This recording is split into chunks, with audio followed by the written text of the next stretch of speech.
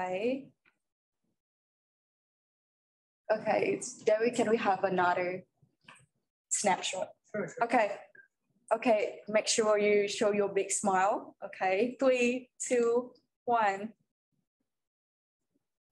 Good afternoon, everybody. Welcome to the 2021 and 2022 uh, Journalism for an Equitable Asia Award. So my name is Nalinrat Tingoum, Program Coordinator at Asia Center, and I will be your MC for today. And before I begin, uh, allow me to, to remind you of our webinar guideline.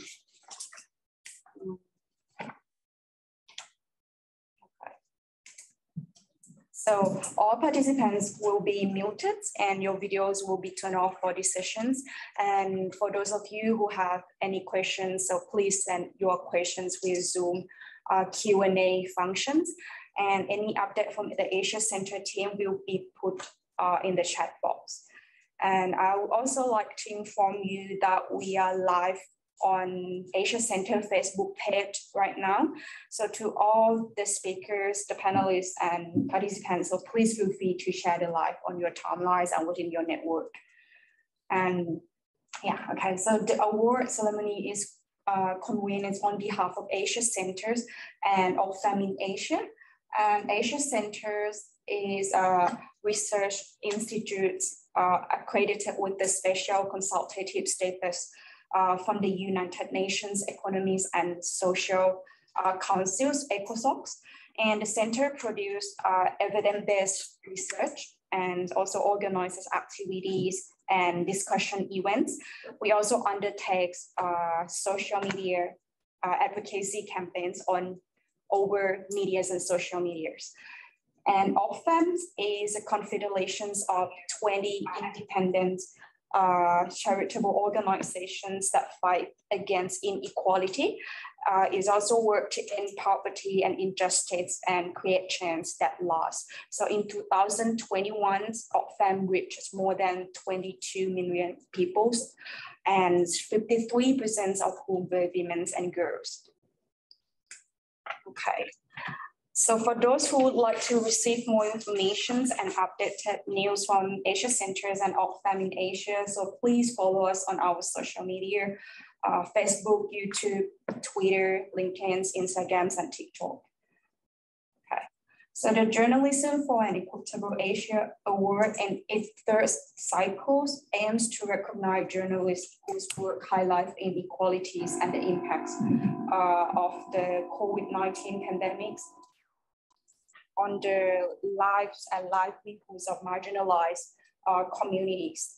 So today we are here to acknowledge uh, the work of top 10 finalists and the five merit awards.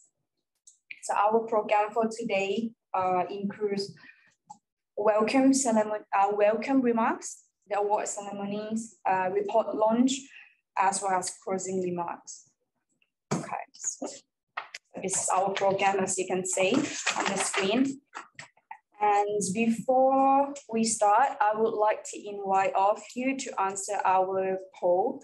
So the question is how important is the role of journalists in raising awareness uh, on inequality issues in Asia?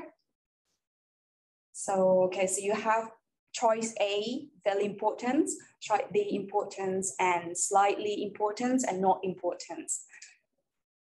Okay, so yeah, and while we're waiting for the poll results, I would like to proceed to open these ceremonies with uh, the welcome remarks by regional directors uh, from Oxfam in Asia. So John Samuels, uh, the floor is yours.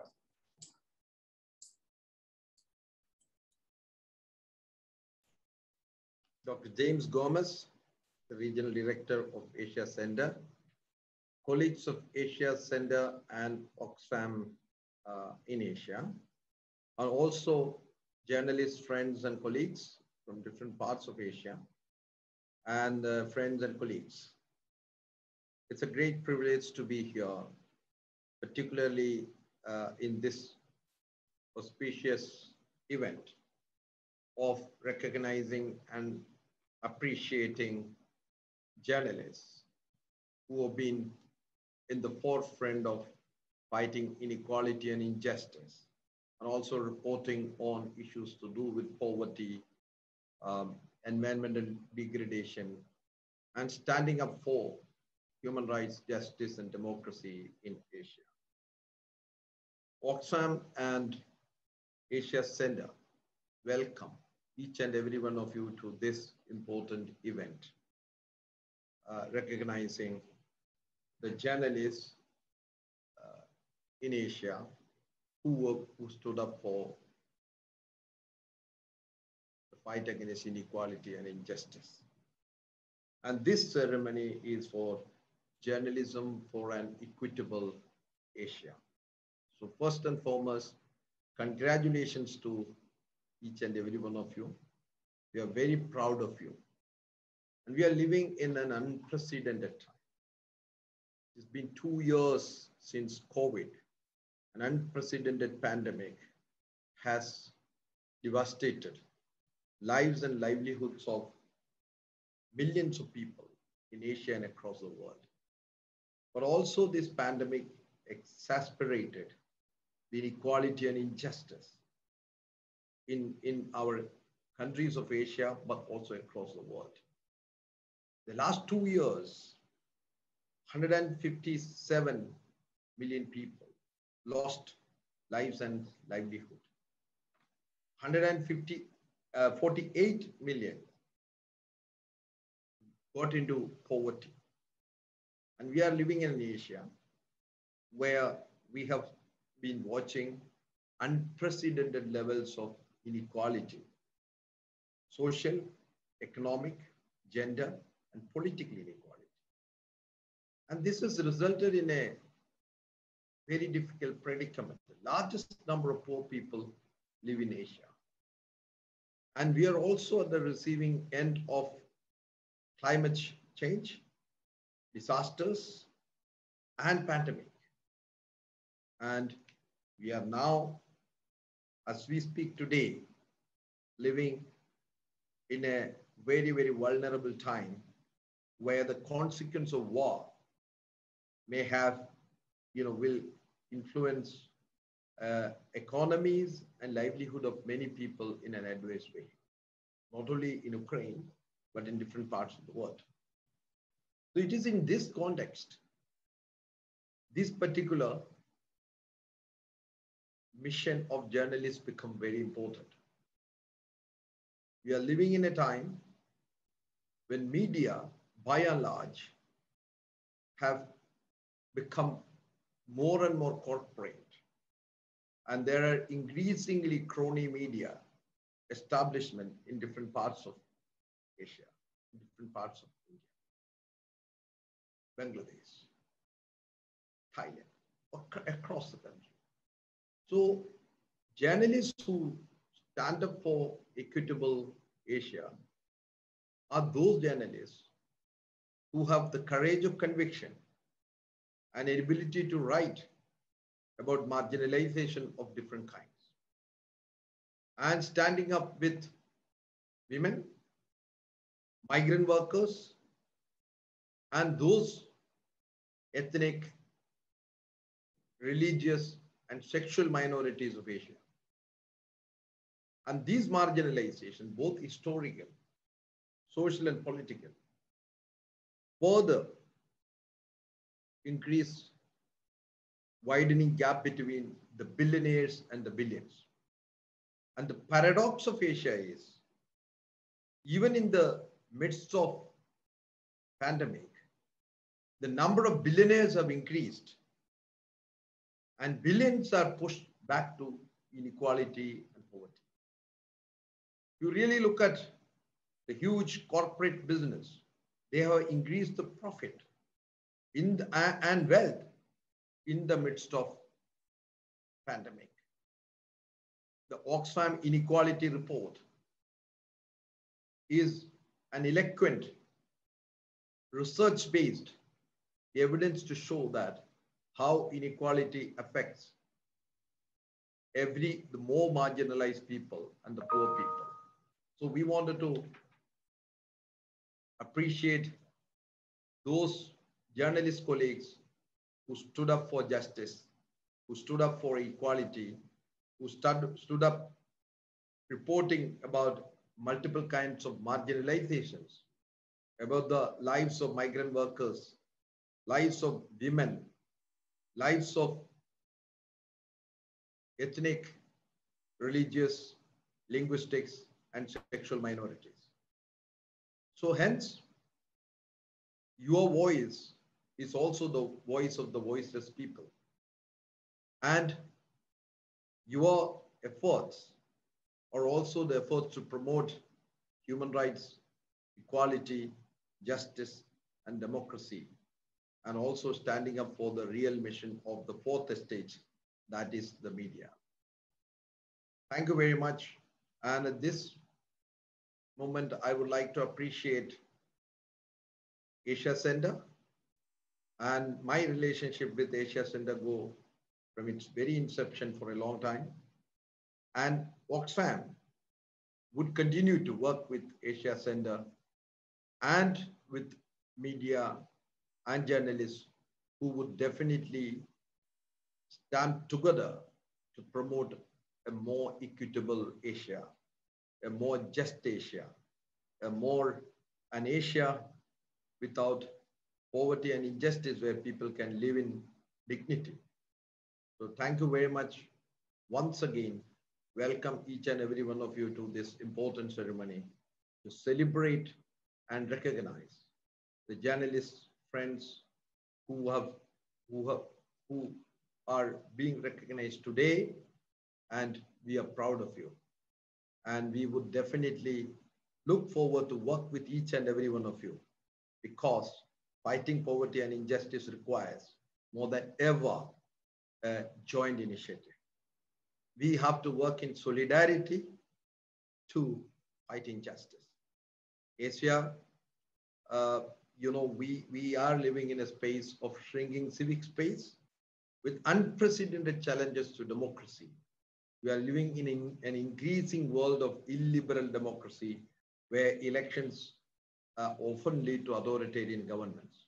So hence, our challenge is more than ever and only together, irrespective of boundaries, irrespective of institutional boundaries, we all need to work together in solidarity for justice, equality, human rights, and democracy. Thank you very much. That was John Samuels, uh, Regional Directors, uh, Asia's Oxfam in Asia. Okay, so now I would like to turn to Asia Center Regional Directors, Dr. James Gomez, to give his welcome remarks. So Dr. James, over to you. Uh, thank you very much, uh, uh, esteemed uh, colleagues, uh, John Samuel, uh, Regional Director, uh, media lead uh, Shiza Malik from Oxfam in Asia, judges for this year's panel, finalists, merit award winners, and participants at the center here in Bangkok. Um, this year, we've been very lucky. We've got very good submissions. We had 150 of them across Asia. Uh, I just want to briefly, uh, you know, share with you uh, what we have observed in terms of the trends in, in the way the stories the journalists has have been packing, uh, unpacking over the last three years. The award is uh, in its third year running. In the first year, what the journalists unpacked for us, the audience, was uh, the vulnerable communities are the ones that have been most affected by poverty. And this is what we learned from the stories in the first cycle of the award. In the second uh, cycle of the award, um, we found that COVID-19 made that impact on marginalized community, vulnerable communities, uh, even starker. But what all of you have done uh, this year uh, all 150 of you, uh, and, uh, and very sharply, uh, the Merit Award winners as well as the top 10 finalists, what you have done for the audience is to point out that in the second year of COVID, this continued, continued languishing unemployment faced by the vulnerable community has stretched, has stretched the inequality. And uh, what we are seeing is as we turn around towards endemic, these communities that have been pushed so much back, languishing in unemployment, will struggle to even slow down the income gap and slow down the inequality. And I think uh, uh, what you signal really is that we need to keep the eye on the government to see what they can do as they you know, bring in employment for this particular uh, group of vulnerable uh, people uh, to first slow down the inequality, stop the inequality, and then strengthen them so that they can get their feet up. And, and this is what uh, uh, we have learned uh, from your submissions and the stories that you covered in the second year of the pandemic. with that, you know, I once again want to congratulate uh, the finalists, the Merit Award winners, uh, thank our partners, um, Oxfam uh, in Asia, as well as the judges for their hard work. Uh, and on behalf of all of us in Asia Center, uh, you know, it's great to cooperate with Oxfam on this award. And we hope to champion the work that all of you fine journalists have been doing. So once again, thank you, congratulations, and back to you, Nalinrat. Thank you, Dr. James. So that was Dr. James Gomez, Regional Director of Asia Center.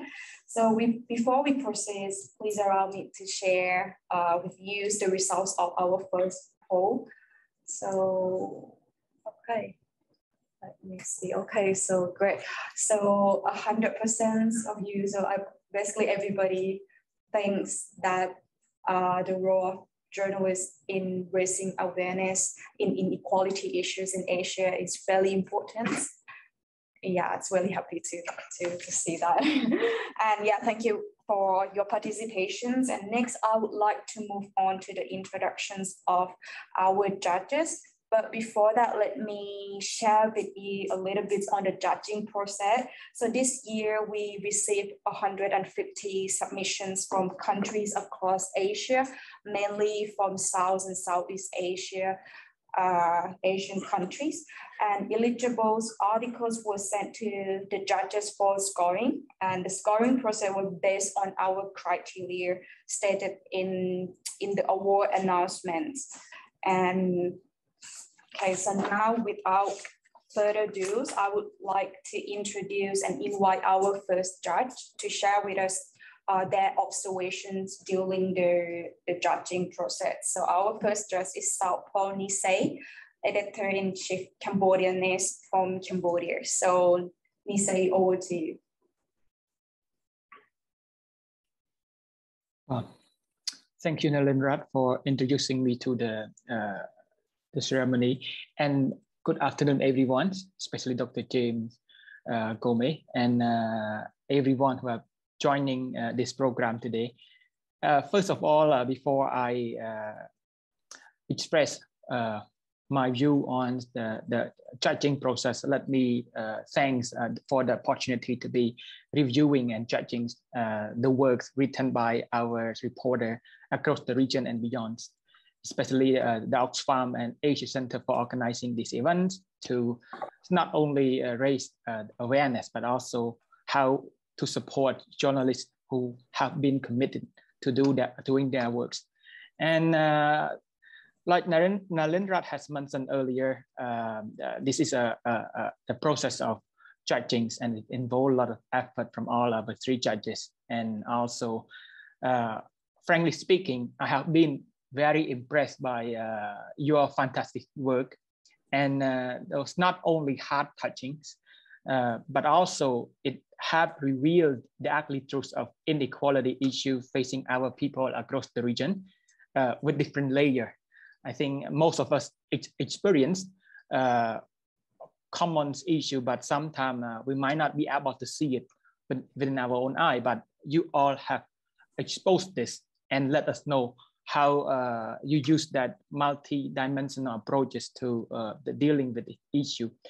And uh, what we can see from migrant worker who lost their job to school teacher who don't even know how to deal with or might be struggling to deal with online teaching uh, amid poverty and lack of internet connection and so on to family who unpredictably have found themselves losing all entire income uh, due to job loss and uh, for example like Thailand for example the tourism dependent country most people have suffered, including uh, different uh, industry across the country. That's the issue that most of us have experienced, and most of our people have endured this painful situation.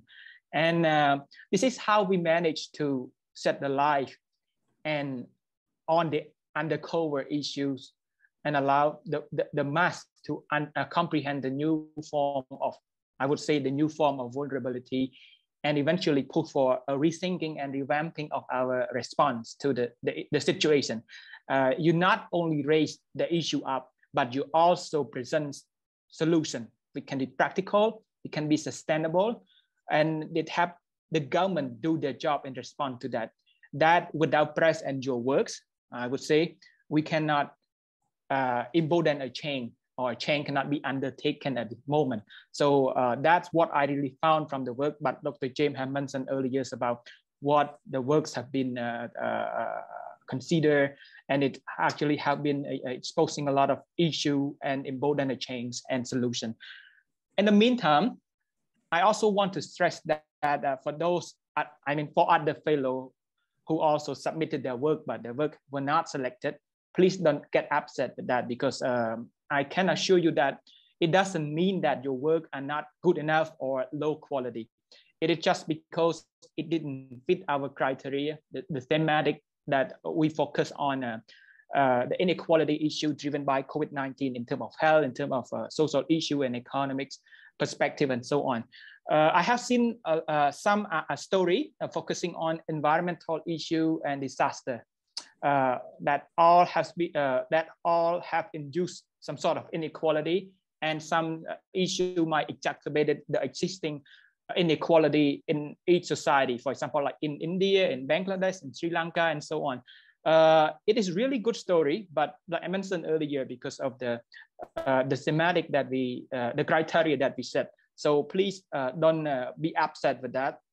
doesn't necessarily mean that your work is not good, and so so, uh, and last but not least, uh, I would like to say uh, uh it is even more imperative that uh, our reporter across the region, including the finalists, including the merit awardee, as well as those who submit their works, to continue to produce these incredible works uh, that does not only raise the issue up, but you attempt to provide solution, the enduring solution that could help not only the government, but the community and uh, people to address the problem.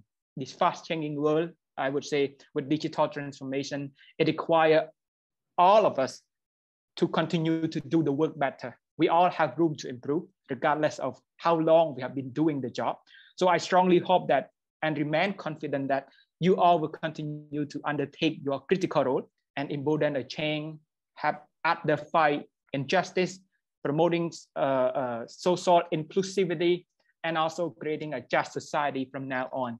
So thank you for all your participation and thank you to uh, the organizer and congratulations once again to those who have been selected for this uh, award.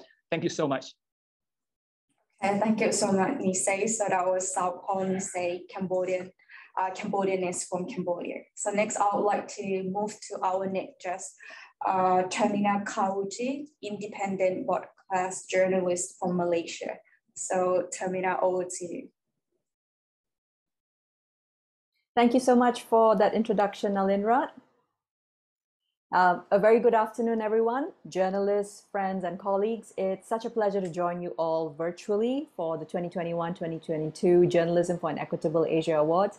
Thank you once again to Asia Center and Oxfam Asia for supporting and organizing this essential platform as well. Um, it's been an immense honor to have read and judged such a diverse scope of submission for this year's awards by incredible list of both veteran and rising journalists from around Asia. Now, of course, in line with the theme of inequality, threats to lives and livelihoods, I was particularly struck by just how many of the pieces organically covered COVID and pandemic related gender equality issues with such nuance and depth, all the way from sexual and reproductive health and rights to poverty and vaccine inequity in rural regions.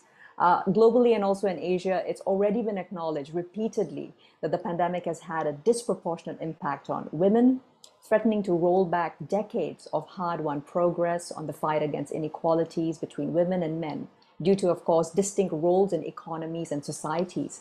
And that I felt was particularly brought to the fore by quite a few of the articles that were submitted. Now, there is a clear need for a complete reset, and it's quite essential for permanent progressive policies to overcome Asia's COVID and inequality crisis rather than a rush back to a so called normal. And I felt that every one of your heartfelt submissions shed light and spotlighted human stories anchored by evidence as well as actionable solutions, which will actually move us towards such transformational perspectives during the second year running of a pandemic, which has placed um, vulnerable populations around Asia at immense risk. Um, some of the most pressing challenges which are facing the world currently, not just Asia, include, of course, the COVID crisis combined with the climate emergency, growing food insecurity, even mounting debt. All of these were once again also issues covered with an intersectional lens in the submissions we went through, and which the 10 finalists in particular brought to the fore through their reporting. So when we speak of vulnerable and disadvantaged groups, it wasn't only women, but we also saw rural communities, indigenous people, migrants, refugees, the LGBTQI, who actually depend even more on us as the fourth estate to ensure governments are not just held accountable, but also assuring social change. Um, with that, congratulations once again to all my fellow journalists and finalists for your work and words, which are the exact voice that vulnerable communities need to see us through to the other side of the ongoing pandemic. I'd also like to congratulate Asia Center and Friedrich Naumann Foundation on the launch of the report, Media Freedom in Southeast Asia, Repealing Restrictive Laws and Strengthening Quality Journalism. It's particularly timely considering the types and breadth of media repression and freedom of expression clampdowns all working journalists around Asia are experiencing due to a rise in authoritarianism, which of course has been further fueled by pandemic related infodemic. Thank you all once again for your dedication, your insights, your steadfastness to addressing the gravest inequalities and human rights violations of our times through harnessing the power and fundamental purpose of media. With that, Nalindra, I hand back to you. Uh, Nipuna, I invite you to share your views on uh, what it was like to be a judge and, of course, um, a former organizer for this event. Thank you, Shiza. I hope um, the Asia Center comes back on, on online. Yeah. yeah, we are back. We are back. yeah, for a second I thought I was talking to myself. I'm, I'm glad to be here. Um, and, and it's really great to see the Journalism Award continuing for a third year. Um, and, and it's important to remember this, this idea for the award came from Oxfam Journalists Forum and Mustafa and I, uh, some of the journalists um, discussed how useful this award would be. And, and with Asia Center, I'm proud that we um, kicked off the award and it's running successfully. And I'm also glad, although it's not easy, the fact that it's growing means that you have to judge more articles. I think we had 150 this year, which is more than we've had before. And so this year, as just as a judge, um, not as an organizer, this was quite a, a different experience. Um, I echo what the fellow judges said. There was some really great storytelling. Um, and and what, what was really uh, remarkable for me was, of course, we talk about inequality in big words, but these stories made them come alive. Um, they showed how children, farmers, daily wage workers, and people struggling to put food on the table are struggling. And, and even though I've been working in this sector and I'm a bit jaded by this, um, I was still moved. I wanted to talk more about what you journalists wrote and, and do something to fix the problem of inequality. And, and this is how journalism should make people feel because these journalistic stories have power to move uh, people. At the same time, I, I do see challenges. Um, this is broadly and, and in terms of the awards itself as well. Uh, there seems to be a decline of quality on how inequality is reported in some countries. Uh, for sure, it's not the journalists who made it to the top lists and who are being recognized in this forum. But in some of the stories, I saw inadequate and exaggerated evidence, um, perhaps written with passion, but not really with the right rigor. There were others that were difficult to read, either due to language competence or, or more likely um, trying to frame the stories as um, they should relate to the readers. But these problems aren't unique to inequality. Um, I, I, scan Asian media quite often as part of my current work. And, and when I do, I, I, see some fundamentally flawed coverage and, and at times even from uh, top outlets. So there's a lot that can be improved. However, on a positive note, I, I think the journalists here, uh, the work that you've done uh, are a shining example of uh, what journalism that matters to people look like and the journalism that has potential to drive positive change looks like. And, and from the beginning, I, I think we envisioned uh, these pieces communicating issues of inequality, but also more importantly, um, inspiring other journalists and others to follow suit. And, and I hope the work that you did um, and, and the work that you will do in future will inspire our leaders, organization, and citizens of Asia to come together and work for a more equitable um, and just society. Um, thank you, and over to you. Thank you very much, Nipuna. So that was Nipuna Kumbalathara, communication expert, uh, EarthRights from Sri Lanka. So once again, I would like to thank all of the judges for your hard work in scoring and making this award happen. And we will now move, move to the announcement of the Merit Award.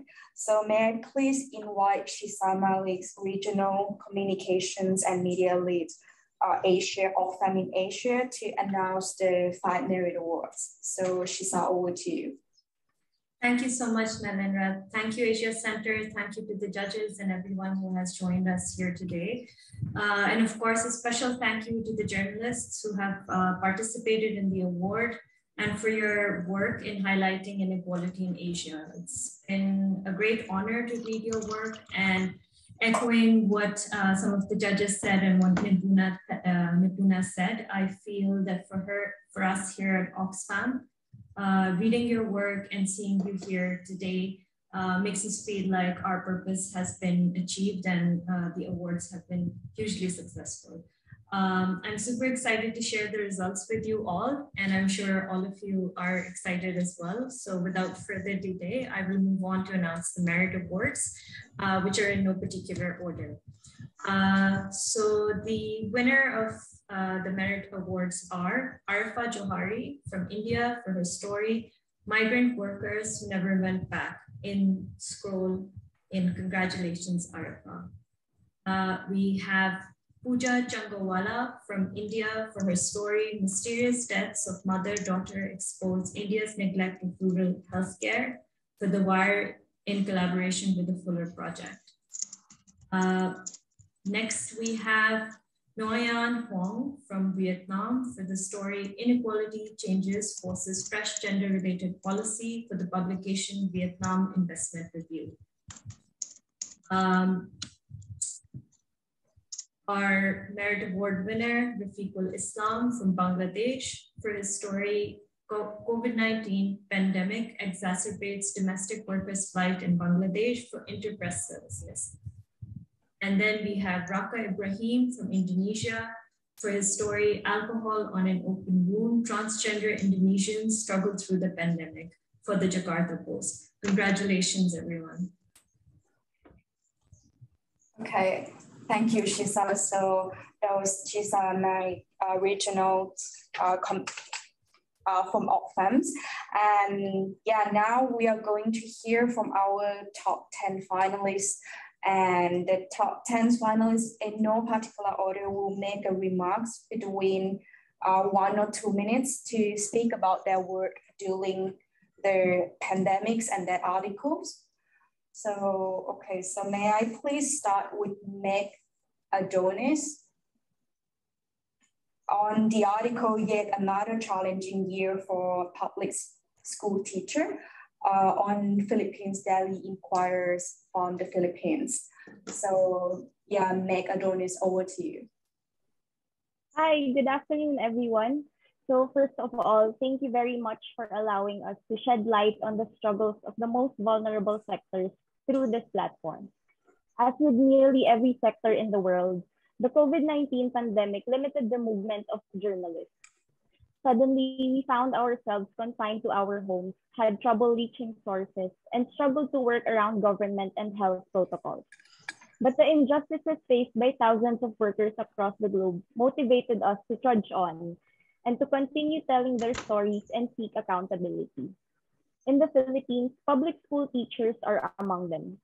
For some context, the country was the last in the world to reopen schools in November 2021 amid the pandemic after 20 months of closure.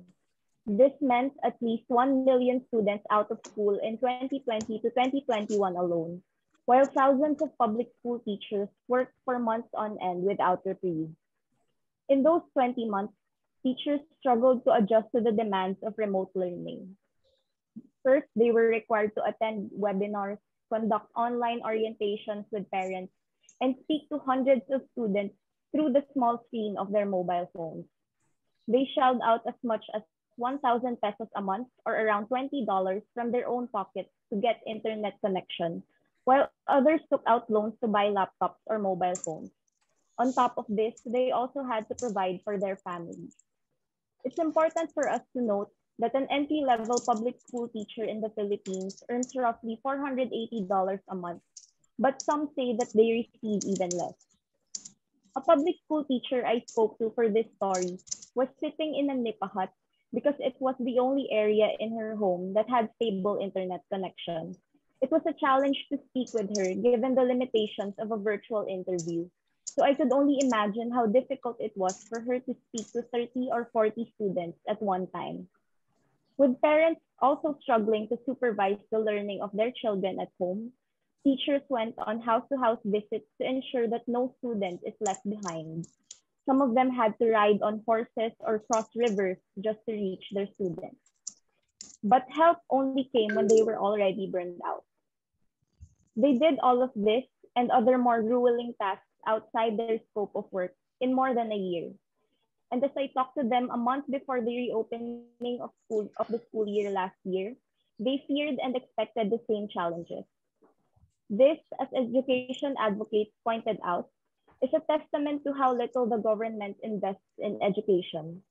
To make matters worse, the, the Department of Education's proposed budget of 1.37 trillion pesos for 2022 was cut by more than half to 629 billion pesos. And so it is my hope that by telling the stories of our education stakeholders, we are able to tap government officials and the private sector to prioritize their well-being and to give them adequate support, especially at such a crucial time when we are all deciding the next leader of our nation. It is an honor to be recognized by Asia Center and Oxfam for this story, and an even greater honor to be among journalists who use their platform and their skill to amplify the voices of the unheard. Again, thank you very much and a pleasant afternoon to all of you. Okay. Yeah, thank you very much, Meg. So that was Meg Adonis uh, from Philippines Daily Inquirer. And next, I would like to move on to our next finalist. So it's a, a, a group of colleagues from Cambodianess who together wrote an articles on lockdowns and out of work escalation sets in among government workers in, in Cambodia. So, okay, when Wanta Funks, Lay, Sophie Wote, and Gerald Friends. And unfortunately, Gerald Friends couldn't make it today. So I'll now turn the floor to Wentas and Lay. So over to you, Wenta and Lay. Thank you. Um, good afternoon, uh, everyone. I'm so happy like our work was selected as a 10 uh, journalist, a finalist and let me introduce to you why we we we wrote it down about that. As you know, uh, government worker, like government sectors, is one of the biggest employers in Cambodia. But there was already exploitation, mean that labor rights abuse and many workers have a lot of uh, debt. They struggle to pay their debt because of their salary salary are so low and we want to show how COVID pandemic had affected them.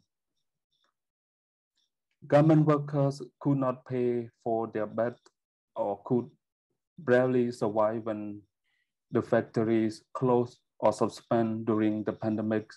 Many were afraid that what happened if they, they did not pay their debt and while the brand and the factory owners did nothing to help them.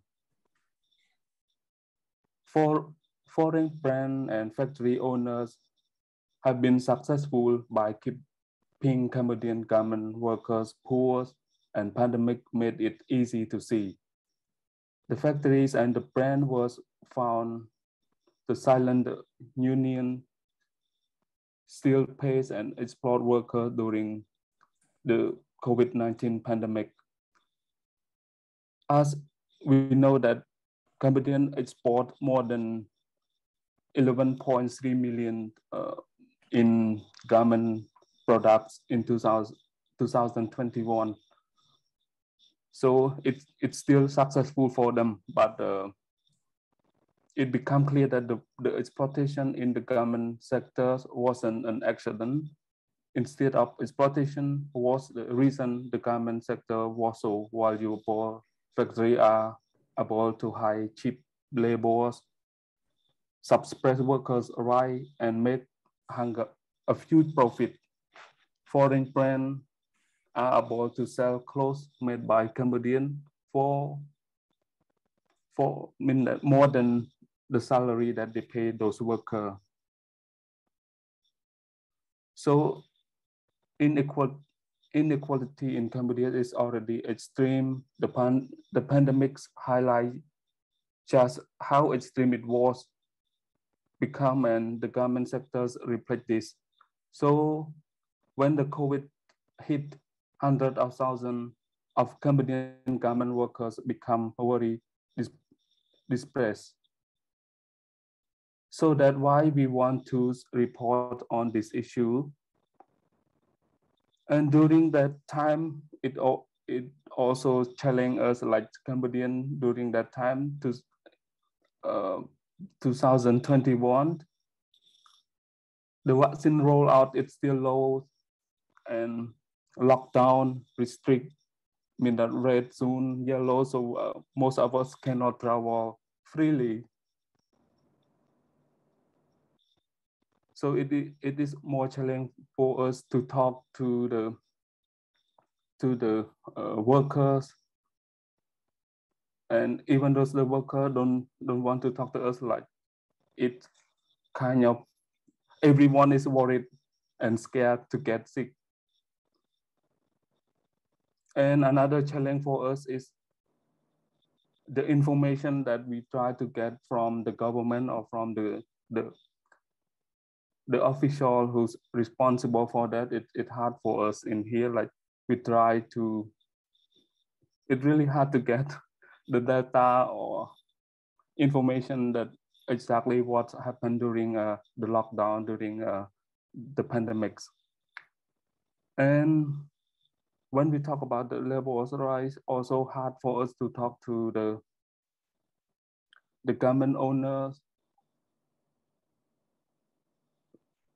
in the brand or the buyers, it, it's hard for us. And so it's all that we have during um, writing the story down.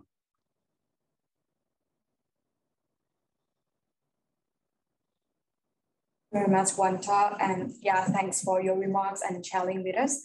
Uh, Lei is also here. Would you like to share your remark as well, Lei? Hello.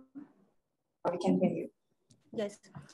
Uh, so uh, let me say uh, to all of you about the government workers in Cambodia. During, uh, during lockdown in Cambodia, uh, around 500,000 workers uh, have affected and around uh, 100 garment uh, factory closed. The, the COVID crisis and uh, labor crisis have hit the government uh, factory workers hard. At the same time, they also facing debt. This crisis puts them to depression while having no income. Government workers decide to commit suicide because of this crisis. So that's all of my article. Okay, thank you very much, Lei. So that was Wenta and Lei from Cambodians on the article lockdowns and our work displacement sets in among garments worker. So next, I would like to move to uh, the next journalist, uh, one Wana Tam Tongs on the articles how to make a killing over prices COVID-19 test for migrants laborers uh, on Prachatai from Thailand. So yeah, Wana over to you. Okay, thank you. Uh, first of all, I would like to say congratulations for everyone. Uh, and then I lost this article when Thailand least its peak number of COVID-19 case during that period. Burmese, Laos, and Cambodia. Migrant workers were being migrant workers were being uh, target of state pandemic control. In Thailand, these migrants are treated like a second class, second class citizen. Uh, they don't have the same right as Thai people. These migrants have been work. These migrants have been working hard while being exploited. Every year, they have to pay 10,000 baht or even more to the state for the visa extension, work permit, and for being able to work in Thailand legally with the low with the low income. After the COVID pandemic hit Thailand, many migrant workers lost their job just like Thai people. They have suffered not only from direct of support by Thai government, the government also still took this opportunity to exploit them with the imposition of overpriced COVID-19 tests. If we let this happen without investigation, migrant workers of T nationality will continue to be discriminated again under the government policy. Also, the renewal of visa and work permit for migrant worker had resumed. The Thai government had not any assistance to this migrant worker until now. Okay, thank you very much. Yeah, thank you very much, Wana, for, for your remarks. And that was uh, Wana from Thai, Thailand. And before I proceed to, to the next uh, finalist, let me remind you a little bit on, on the time. So we, as we're running out of time, so all the finalists, please make it, uh, keep it a little bit like shorter, like around like one or two minutes maximums. Okay, so next I would like to move to the our next finalist, Sanket Jains, uh, on the articles COVID-19 and the desperate life of India's sugar canes worker on toward freedom. So Sanket, over to you. Uh, thank you so much, Asia Center and Oxfam team uh, for this recognition. Uh, and congratulations to all the Merit Award winners and finalists. Uh, it's indeed an honor to be one of the top 10 finalists. Uh, uh, so what I have been documenting the lives of sugar, sugarcane workers for the past four years. And with every passing year, it just gets worse and worse. And when the COVID pandemic struck, I knew that it's going to get much worse. so what actually happened is a lot of sugarcane workers, they have to migrate at least a thousand miles uh, from their remote villages to cut the sugarcane. And there are contractors involved here. So there are no written contracts. Uh, you get an advance, but uh, the working conditions are so terrible and so horrific that you will be paid nearly $3 for cutting like 1000 kilograms of sugarcane. And it just kept on getting worse and worse. Uh, so what happened is, uh, since the pandemic started, there was a lockdown declared immediately in India uh, in March 2020. And with this lockdown, a lot of sugarcane cutters, they lost money. They didn't have any money. So from where do you bring everyday food? Where do you bring everyday essentials? This was the bigger question. And they were forced into the cycle of cane cutting. So they took an advance from contractor. Okay. And once they got this advance, they had to quickly move to cut sugarcane. But the problem is how do you cut 90,000 kilograms of sugarcane in merely three months using a sickle? That's just impossible. And you just can't do it. And what does this mean? This means a lot of exploitation. And the biggest impact was on the children. So all the children who were enrolled in school, all of a sudden they dropped out because they, they had to accompany their parents. They had to sign up for this work. And children between the age of 15 and 18, um, I, I observed uh, most of them started dropping out and before the pandemic, 40% of girls in India actually dropped out between the age of 15 and 18. And this cycle just made it worse. So just to end here, the biggest uh, moment when inequality, inequality struck me was, so I was interviewing a woman sugarcane cutter and she told me that uh, day before yesterday, 20 kilogram plank fell on my leg. Okay, somehow she managed to get an x-ray done with her own money. So there is no health security here. And after getting an x-ray, she told me that it shows there is a major fracture and we need an immediate treatment. But the contractor warned her that you can't go for an immediate treatment. Who will cut the cane if you go for the treatment? So what she told me, and this will forever remain with me, she told me that there are 100 more days, left for left for me to finish the sugarcane work.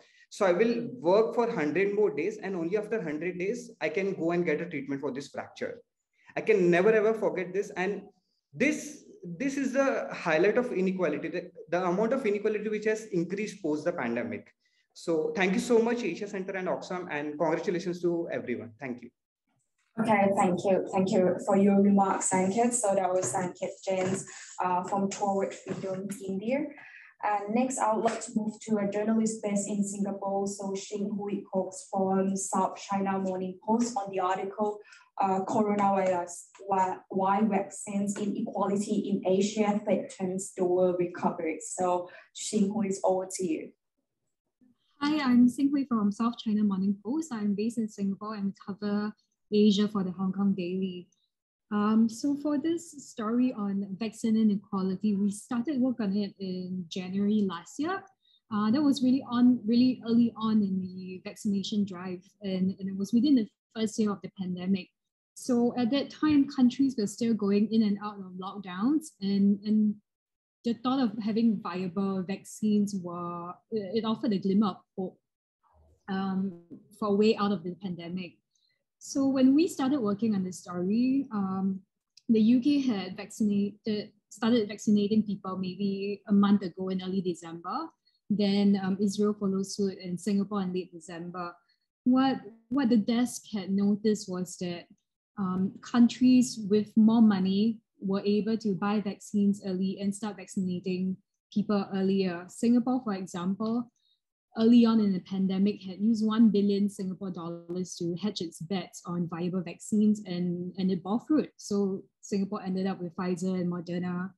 Um, and, and it was able very uh, right off the bat to say that it had enough vaccines for all 5.6 million residents and that the vaccinations would be free you know, this this compares to to Myanmar, who at that time had um, just enough doses to cover a quarter of its population, and in Cambodia it was just 13%. So what it meant was that countries whose pockets are not as deep are a lot further behind the queue for vaccines. Um, what we tried to do in the story was to explore the impact of this vaccine inequality uh, this story predicted that countries with who are slow to vaccinate are going to see rising infections, um, hospitals being overwhelmed, and having to go in and out of lockdowns. And, and we did see that happen when new and more infectious variants came about. uh, what we also tried to do with the story was to show that you know this wasn't just uh, a developing country problem or rich country problem, and at the end of the day, because of how closely connected the, the world is, it also affects everyone's economies. Um, we also covered a little bit about vaccine hesitancy, where places like Hong Kong, who had enough doses, people were not keen to get vaccinated. And, and today we're seeing the consequences of that playing out, right, with high death rates, high hospitalization. So yeah, this is what the story mostly covered. Thank you. Yeah, thank you very much, Xing. So that was uh, Hui is from South China Morning Post. Uh, on the articles, coronavirus, why vaccines inequality in Asia threaten the, the world recovery. So next, I would like to uh, invite Mario Rusanios uh, on the articles, the gold trap COVID-19 is pushing more Filipino children into hazardous work, uh, Rappler. So Mariel's over to you. Thank you so much, uh, Oxfam and Asia Center for this, and congratulations to everyone. Um, despite the challenges, given that the, the pandemic has a new Delta variant at that time, I decided to chase the story largely because our government has been talking about moving on to the new normal. But it made me think who is going to be in the new normal? What is it going to be like? And how about the new normal for those whose normal lives are already bad? The children of Malaya and Paracale and Camarines Sur were freed from dangerous mining work four years ago. But the pandemic has brought them back to where they were, a life of dangerous and backbreaking work from which there may be no escape. The story of the gold trap and how the pandemic has pushed Filipino children back into hazardous work has showed how the efforts of the national and local government and even the NGOs to address hazardous child labor were pushed back to zero. That the government's target of removing all 2 million child laborers from hazardous work by the end of this year is impossible, and that the Philippine government has not tracked the children workers, and the true number is unknown as most of them are beyond the reach of public services. So I wrote this story in the hope that as the leaders are planning on reopening the economy, and as we all move forward, no one will be left behind. Thank you. Thank you very much. So that was Mario Lucenios uh, from Rappler, the Philippines. And next, I would like to move to Lei Sofia Wote once again uh, on the article Trade Unions, Women's Worker Need Support During Pregnancies and Postpartums uh, on Cambodianess. So Lei, once again, over to you. Yes, hello again. Uh, uh, for the article, why I bring the article because in Cambodia, worker, women workers they have uh, many challenges and uh, during they have uh, pregnancies, especially informal workers.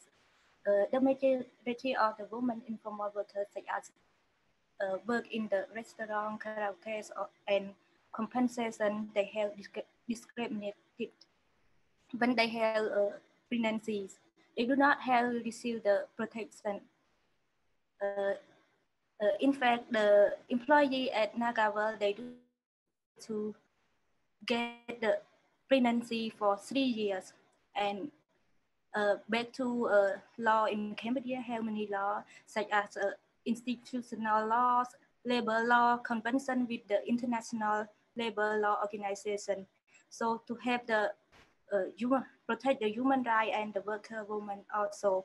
But the implement of those law is not yet too effective. Therefore, the women worker and the union leader insist on pay attention and protect the woman, especially during the pregnancy.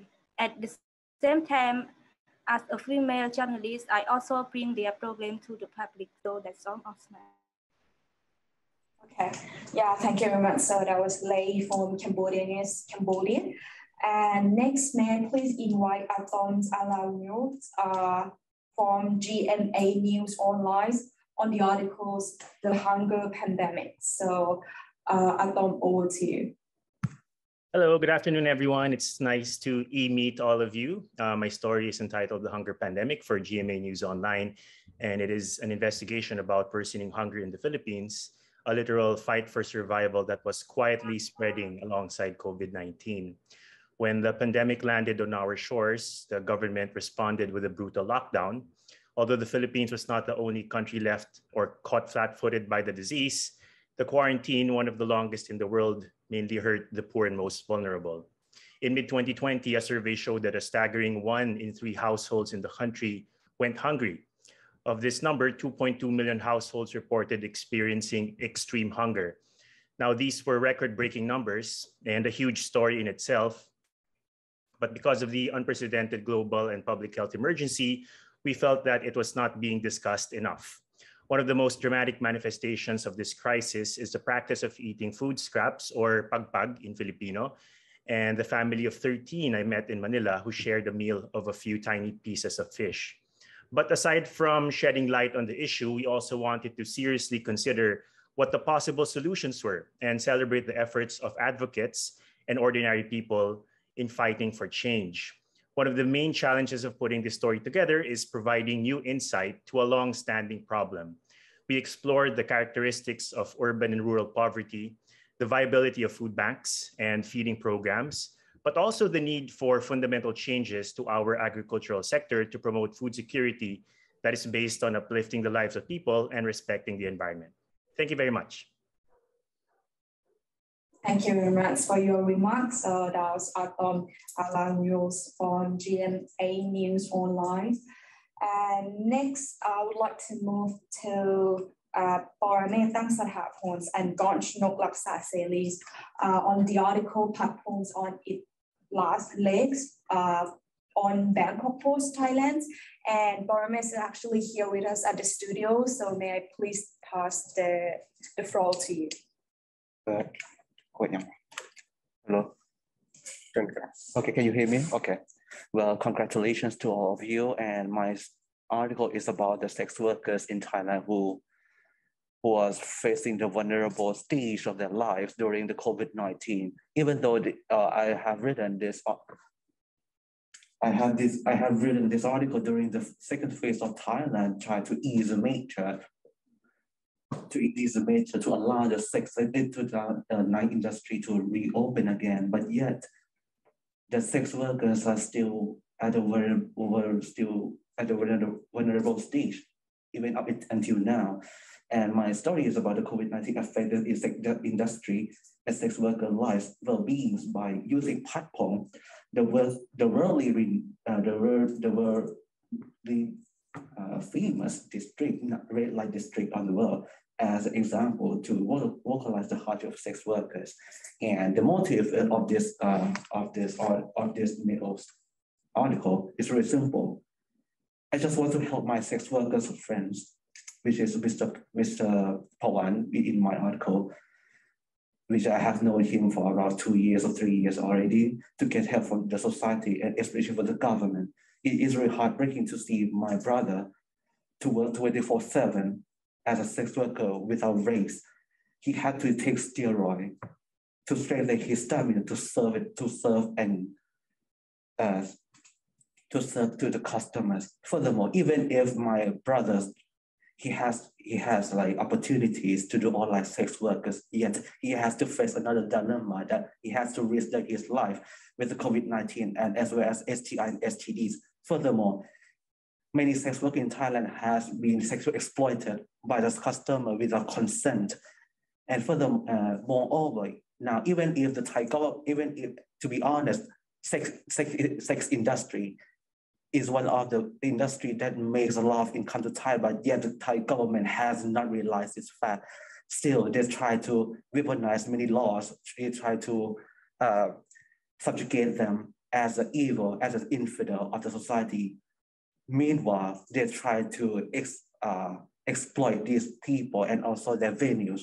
But an interesting fact that I have came across last year that many sex workers in Thailand decided to, decided to end their life by committing suicide, which uh, because they cannot uh, because they have they, they have only sex worker as a career and they cannot find the money during COVID-19 so to, to serve their parents. It is really heartbreaking moment. So the reason that I, I, I write this article is to vocalize to the society and to the to the government or to any stakeholder that it's time to help this sex worker who is the co uh, who is a co uh, co-worker who is the workers of type who can drive the society forward as well, not just those who are just like the things the, the group of people that you see as an infidel or bad people. They're just they're just normal people as us. And I believe that everyone in society, regardless gender, sex, genders, race, ethnicity, or occupations, are deserved to protect under the same laws. It is, to, it is the role of the state to ensure that no one is left behind. Thank you. Uh, thank you very much. So that was uh, Paramits uh, on uh, from Bangkok Post, Thailand. And next, I would like to move to our last finalist. So may I please invite Gila Garcia uh, on the articles use your colleagues inside Manila's informal economies on rappers. So Gila, over to you.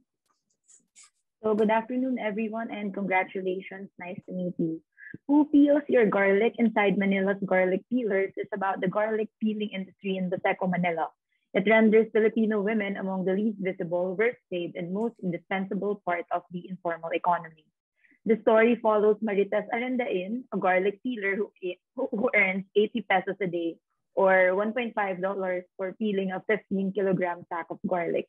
In, um, in an agricultural society like the Philippines, landless peasants like Arendain are forced to take informal jobs like garlic peeling in the city because of their gender, landlessness, and lack of rural development in the countryside. I felt the urge to report the story because I was angered by the injustice and inequality of witnessing the garlic peelers burn their hands peeling garlic the whole day, yet earn so inadequately. Arendain situation is telling of a system that profits from the injustice that marginalized peoples are facing every day and how we should all work toward changing these realities. Okay, yeah, thank you very much. So that was Gila uh, from Rappos, the Philippines. And yeah, before we proceed to announce the top three prize winner, I would like to invite all of you to participate in our second poll.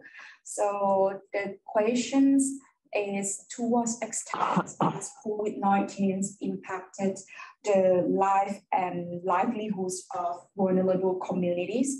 So uh, choice A, we have to we have choice A to a great extent, and B somewhat, C very little, and D not at all. So I will spend a few minutes for all of you to to, to fill the polls.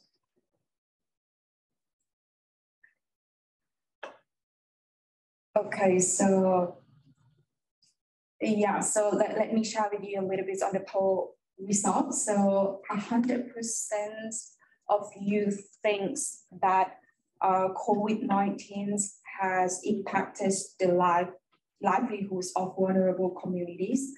So thank you very much for your participation. And now I would like to move to the part of today events that many of you have been waiting for. So may I please invite Shiza Malik's uh, Regional Communications and Media List uh, Oxfams, Oxfam in Asia to once again announce our top three prize winner. So Shiza, the floor is yours. Thank you, Nalinrat. Uh, and thank you everyone for sharing your thoughts. Uh, it's very nice to hear from you, uh, your perspective on, on these stories.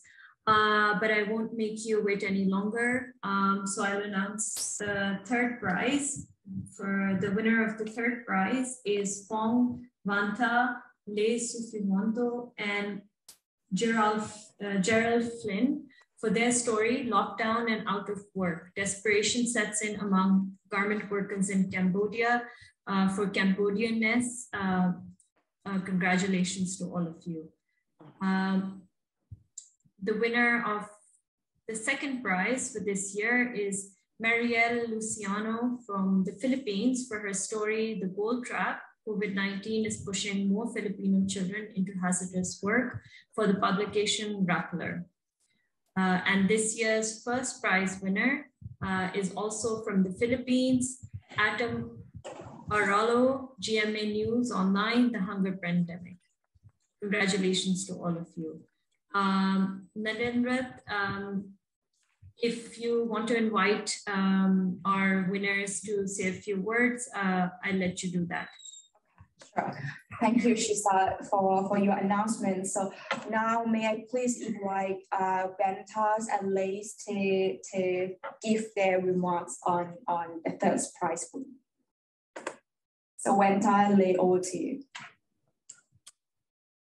Uh, thank you, uh, Asian Center and Oxfam for uh, recognizing this event. And as we know, the reporting in equality in society is so important. So especially on the uh, poorest people and vulnerable people. So I hope the uh, journalists will focus on reporting inequality. Finally, I uh, hope that uh, Asian Center and Oxfam that uh, recognize this event to uh, correct and motivation journalists to report inequality in society. So that's all. Is it my turn now? thank you. Uh, first of all, thank you for Oxfam and Asia Center, um, to the Friedrich Naumann Foundation, especially for Vanessa, uh, for the opportunity to tell our stories, especially for uh, with Gila as well. To Miss uh, Sheila Coronel for her patience and guidance. To the children of uh, of Camarines Sur for their trust. Um, to Miss Ardino of BAN Toxics, to Joe and Jason for leading me to this um, to this career path. um, to everyone, and um, I hope we will never get tired of telling stories, no matter how hard they can be. Thank you. Thank you again.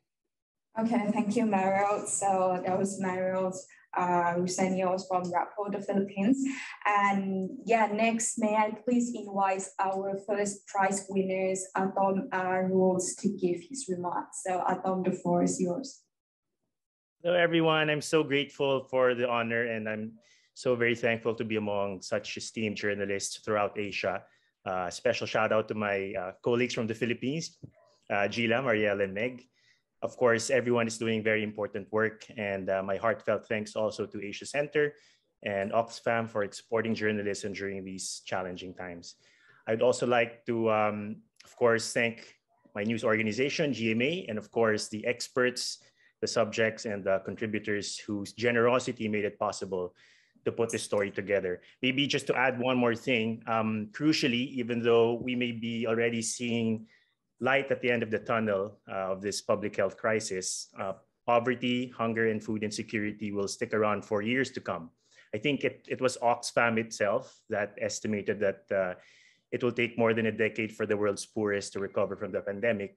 And while the mega rich have actually become even richer, um, there is clearly something wrong with the situation from an economic and moral perspective. So thank you once again for the honor and uh, hope to meet all of you soon.